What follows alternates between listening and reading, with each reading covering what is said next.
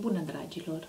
Astăzi am să vă citesc o scrisoare foarte emoționantă de a lui uh, Albert Einstein către fica lui, Lizer. O scrisoare pe care geniul a scris-o în 1938, uh, dar a fost dată publicității abia în 1980, pentru că uh, Einstein a solicitat fiicei lui să nu facă publică această scrisoare decât în momentul în care va considera că omenirea este pregătită pentru uh, informațiile care erau scrise în această scrisoare. Iată cuvintele marelui uh, geniu. Există o forță extrem de puternică la care știința nu a găsit până acum nicio explicație formală. Este o forță care include și guvernează toate celelalte forțe și este chiar în spatele oricărui fenomen care operează în univers și nu a fost încă identificată de noi. Această forță universală este iubirea.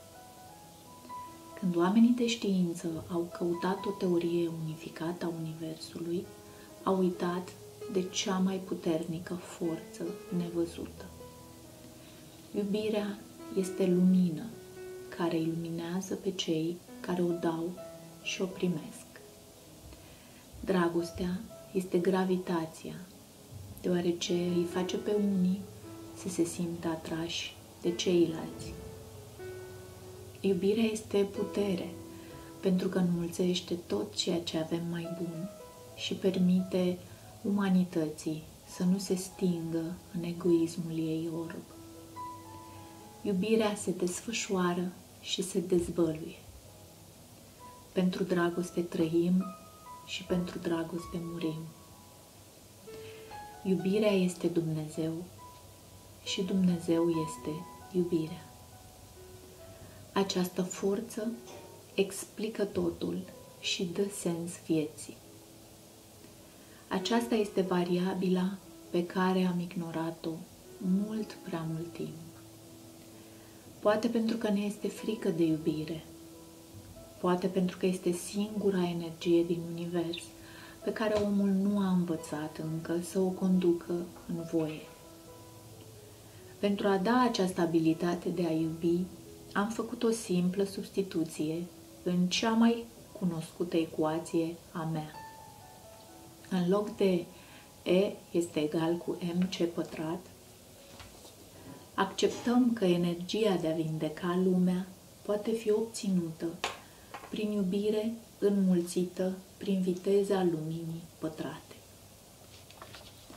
Am ajuns la concluzia că iubirea este cea mai puternică forță existentă, deoarece nu are limite.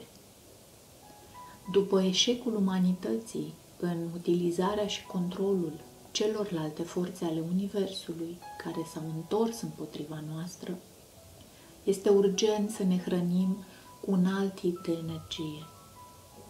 Dacă vrem ca speciile noastre să supraviețuiască, dacă vrem să găsim sens în viață, dacă vrem să salvăm lumea și fiecare ființă care simte și care o locuiește, iubirea este singurul răspuns.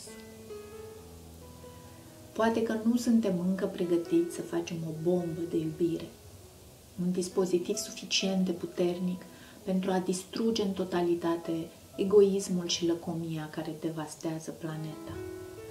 Cu toate acestea, fiecare individ poartă în interiorul lui un mic, dar puternic generator de iubire, a cărui energie așteaptă să fie eliberat.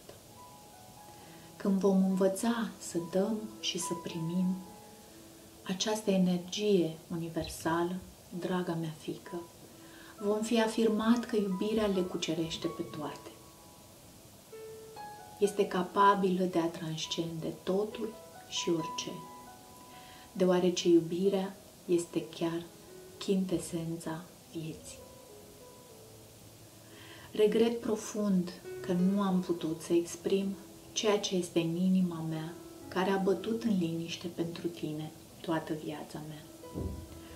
Poate că este prea târziu să-mi cer scuze, dar cum timpul este relativ, trebuie să spun că te iubesc și datorită ție am ajuns la răspunsul final. Tatăl tău, Albert Einstein. Aceasta este scrisoarea marelui geniu către, către fica lui. Uh, m-a impresionat extraordinar de mult și de asta am și vrut să fac această, această postare, acest filmuleț. Am auzit uh, această scrisoare citită de una dintre uh, persoanele care mi-au schimbat viața, mi-au transformat-o literalmente, mentora mea, Brandon Bales, și am ales să citesc și eu această scrisoare și să o dau mai departe, astfel încât cât mai multă lume uh, să afle de această scrisoare și să ne aplicăm cu toții asupra conținutului, asupra mesajului pe care Marele Geniu îl transmite. Și anume că salvarea noastră este iubirea. Salvarea noastră este să dăm la o parte lăcomia, egoismul și să oferim iubire și să primim, să ne deschidem să primim iubire.